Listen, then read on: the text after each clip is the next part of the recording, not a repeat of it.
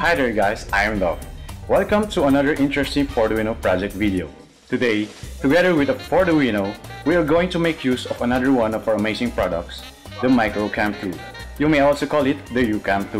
In this project, we will use a 4Duino to get image data from the camera module and save it to the microSD card.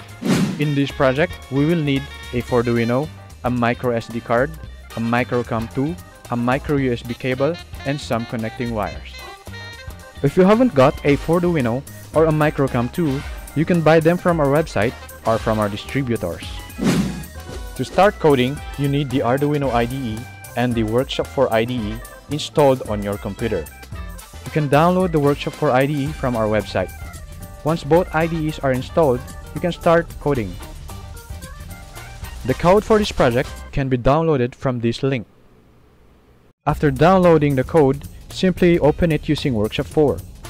Upon creating a new project in Workshop 4, the IDE gives you an Arduino sketch that contains all basic requirements in using the 4Duino. This sketch includes the libraries and the setup routine. Now, to start our code, let's set up the error handling function. We then include the necessary libraries and declare the constants. Then, we reset the display.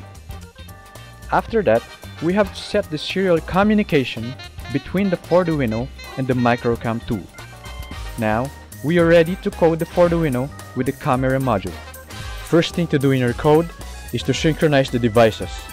Next is to initialize it with your desired parameters. Now request for a snapshot picture to be viewed at a later time. You then request the image in snapshot mode and save it to the microSD card. Now, let's build the project. Connect the TX and RX pins of the Microcam 2 to the 4Duino pins 10 and 11. Pins 10 and 11 were set up as software serial pins in the code. Then connect the 4Duino 5V output pin and ground pin to the Microcam 2 5V supply pin and ground pin respectively.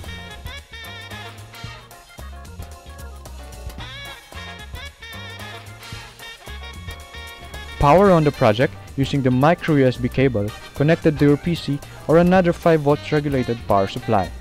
Now, you will be able to get a picture and save it to the microSD card.